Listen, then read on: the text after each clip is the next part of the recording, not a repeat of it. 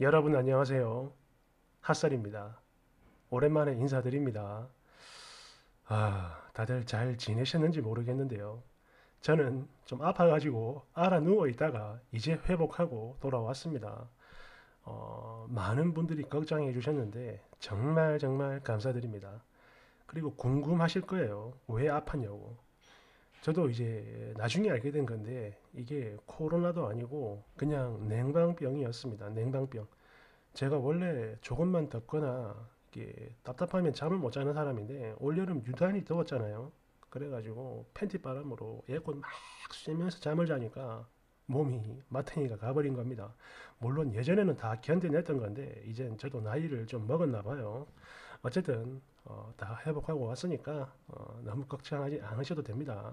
다시 한번 감사드리면서 그럼 오랜만에 사연 한번 볼게요.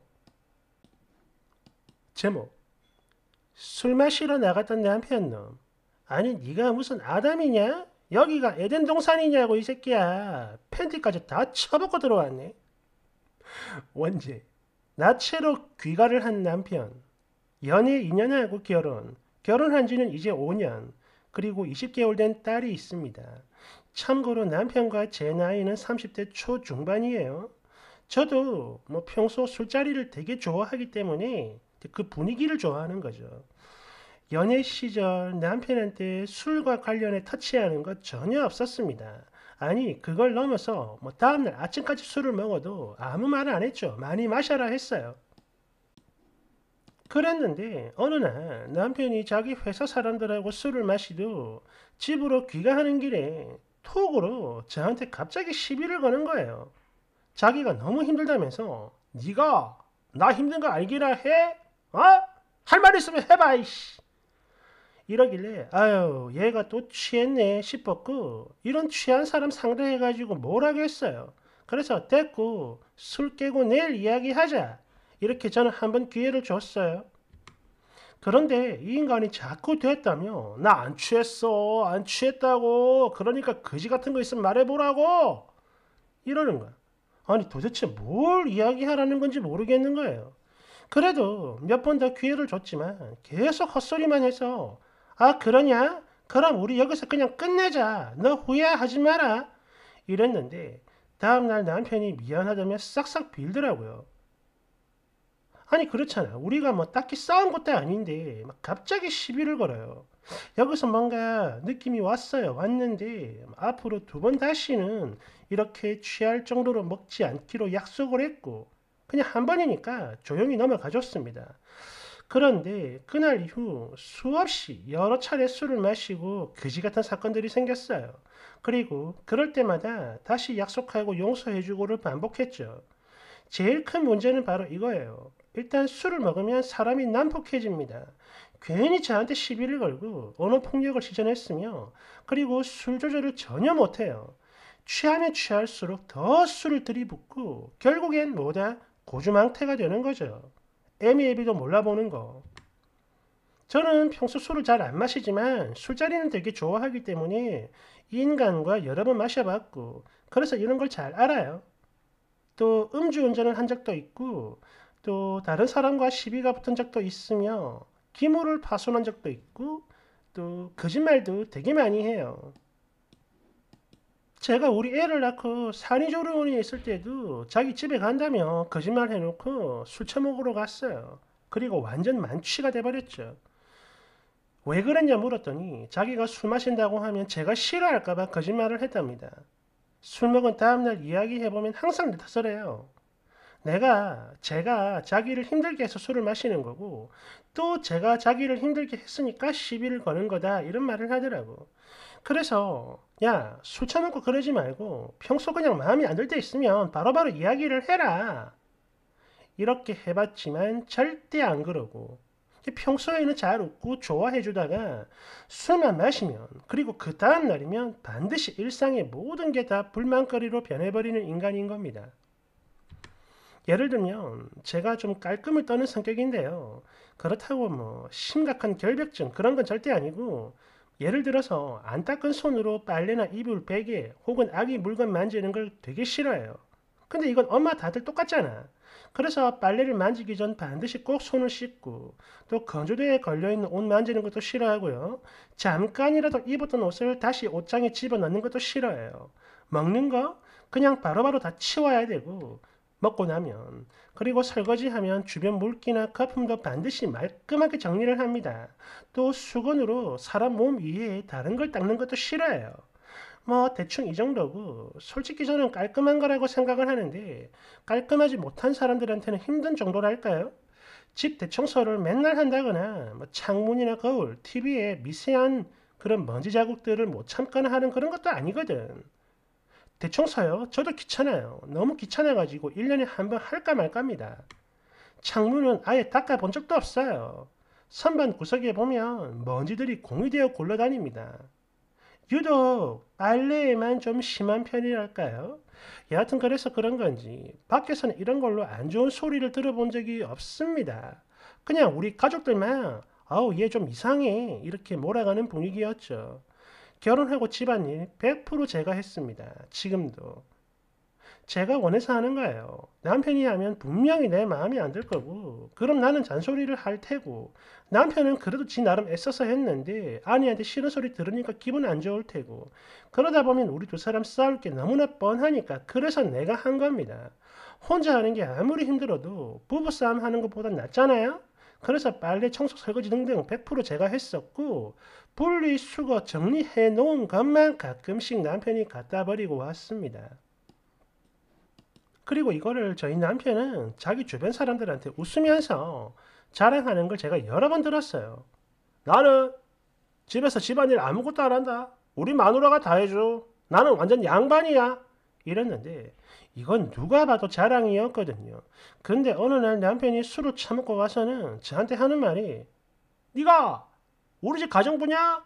어? 내가 지금 내 마누라하고 사는 건지 일해주는 가정부랑 사는 건지 내가 그걸 모르겠다고. 어? 빨래랑 청소 그만 좀 해. 이러는 거예요. 아니 우리가 맞벌이고 당연히 회사 끝나고 와서 저녁에 집안일을 하다 보니까 남편하고 있을 때 집안일 하는 경우가 많긴 했죠. 또 제가 집안일을 할 때 남편은 에어팟 끼고 유튜브 같은 걸 봅니다. 근데 갑자기 저 혼자 집안일 하는 게 불만이라며 자기도 하고 싶다고 하더라고요. 나는 이런 게 너무 힘들어요. 평소에 말 한마디 없다가 술 처먹고 갑자기 불만으로 변해버리는 거야.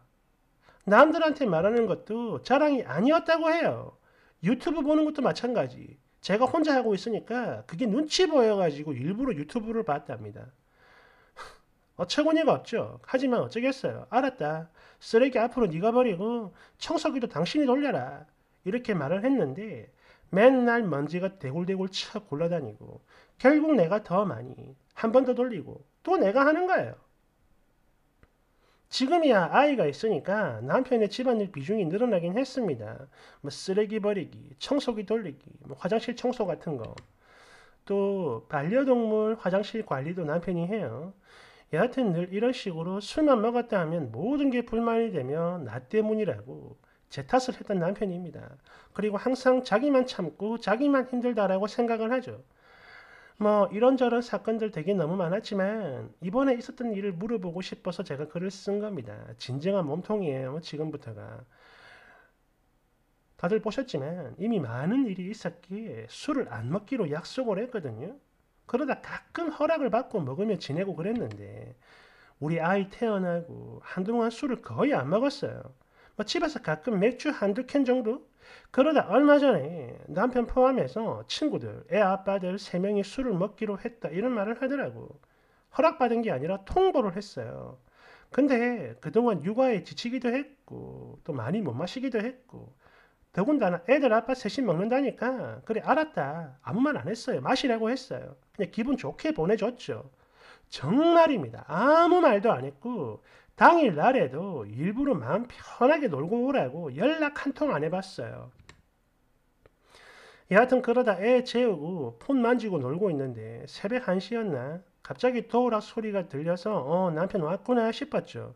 근데 삑삑삑 소리만 나고 문 여는 소리가 안 나는 거예요. 그래서 뭐야 하면서 현관으로 갔고 여기서 또 도우락 소리가 납니다. 자꾸 틀려가지고 삐빅거리는 거예요. 너무 취해가지고 문도 못 여는구나 싶어가지고 제가 대신 열어줬거든요. 헐 이런 미친 정말입니다. 거짓말 아예 하나도 안 보태고 그냥 나체로 서 있더라고요. 옷이랑 신발이랑 핸드폰 지갑 키 아무것도 안 가지고 있었습니다. 팬티까지 다 벗었어요. 100% 나체였고 손에 보조 배터리 하나 딸랑 들고 온 겁니다. 게다가 어디서 막 뒹굴었는지 온몸에 흙이랑 까만 이상한 오염 어 그런 게 막 묻어 있고 얼굴에 구토 범벅을 해가지고 그렇게 서 있는데 이게 사람 꼴이겠냐고요. 그리고 여기서 제가 정말 궁금한 건 여러분 애도 있는 남편이 저 상태로 귀가했을 때 심정과 남편한테 어떻게 대할 것 같은지 그 말과 행동들이 전 정말 궁금해요. 저는 진짜 최대한 떨리는 심장과 손을 보여잡고 이성을 찾으려 노력을 했으며 그렇게 남편을 대하고 있었는데 남편은 또 제가 남편한테 한 언행에 불만이 있어 보통 일반적으로 어떻게 하시 이뭔 소리야? 어떻게 했어야 하는지 궁금해서 글을 쓰게 된 겁니다. 한마디로 자기가 이런 거지 같은 꼴을 봤는데 만약 여러분 남편이 이랬다면 어떻게 할 거냐 이걸 묻는 것 같아요. 제가 이 글을 아플 때 좀 정리를 하다 나와가지고 좀 어지럽습니다. 아무튼 처음 써보는 글이고 정리도 안 되고 막 끄적였는데 좀 봐주세요. 긴 글 읽어주셔서 감사합니다. 뒤에 있습니다.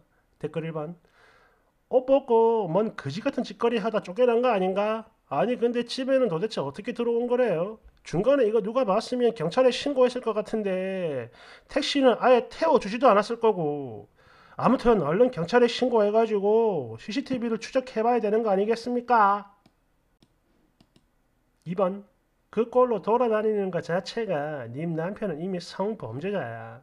그 꼬라지 목격하고 길에서 정면으로 마주쳤던 여자들은 지금도 충격으로 정신이 피폐해져 있을 거라고. 아니 지가 옷을 벗고 뭔 짓을 했을지 우리가 알 게 뭐냐고 피해를 본 사람들이 있다면 그게 더 중요한 거죠 3번 그 가출한 애들이 미성년자들 시켜가지고 성매매를 하는 순간 현장을 덮쳐서 현금 다 뺏고 신고도 못하게 폰 압수는 물론 팬티까지 싹 벗겨가지고 간다고 들었거든요. 님 남편 그 시간에 현금 뽑은 거 있나 없나 잘 살펴보세요. 4번 과거에 있던 일을 왜 줄줄이 써놨나 했더니 과거에 있던 일만 해도 충분히 이혼 사유인데 그 꼴을 보고도 끌어안고 사니까 있던 거지 같은 꼴을 또 보는 겁니다. 그러니까 5번 나였으면 음주 운전해서 이미 아웃이야. 술 처먹고 운전하는 것들은 이미 인간이 아니거든요. 6번 일단 경찰에 신고부터 하세요. 그래야 CCTV라도 볼 거 아닙니까? 근데 왜 저런 꼴이 됐을까? 너무 궁금하다. 꼭 후기 써주세요. 7번 이상한 짓을 하다 쫓겨났든 집에 다 와서 옷을 싹 벗었든 절대 제정신이 아니야. 지금 이게 단순히 옷을 벗었다 이런 단순한 문제가 아니라고요. 저러다 다음엔 옷 싹 다 벗고 아파트 앞에서 잠들 수도 있다. 이제는 고치겠지 이런 거 절대로 안 돼. 기대도 하지 마세요. 8번 그 와중에 보조 배터리 챙겨온 거 뒤따 웃기네. 깔깔깔깔. 잠시 후 2부에서 어, 어쩌다가 저런 꼴이 됐는지 나옵니다. 조금만 기다려 주세요. 음, 감사합니다.